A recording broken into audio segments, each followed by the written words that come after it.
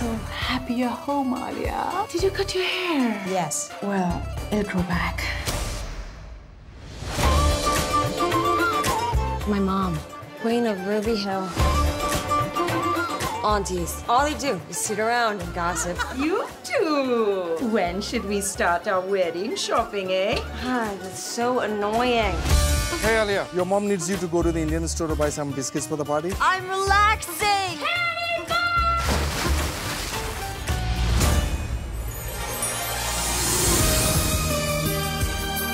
I'm looking for some biscuits. Mom, uh, where are the biscuits? You're restocking them, Varun. We're throwing this dinner thing next Saturday. You're new in town. You guys should come. You sure your parents won't mind? You invited who? A local shopkeeper. We are running a charity service, huh? Sure, Aunties Without Borders.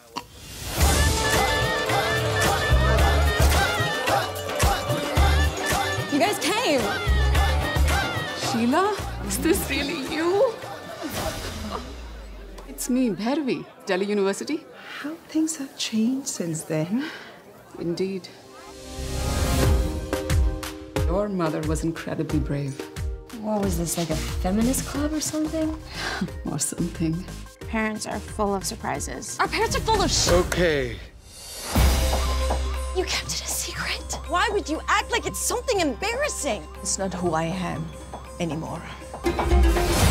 How nice to not have to worry about money. I'm nothing like these. No, no, no, you're exactly like these people. Back then, my life was complicated. I want your life to be simple, easy. That's not what I want. What if we are who we are and then everything changes and we don't recognize ourselves anymore? You live in a strange world. Yep.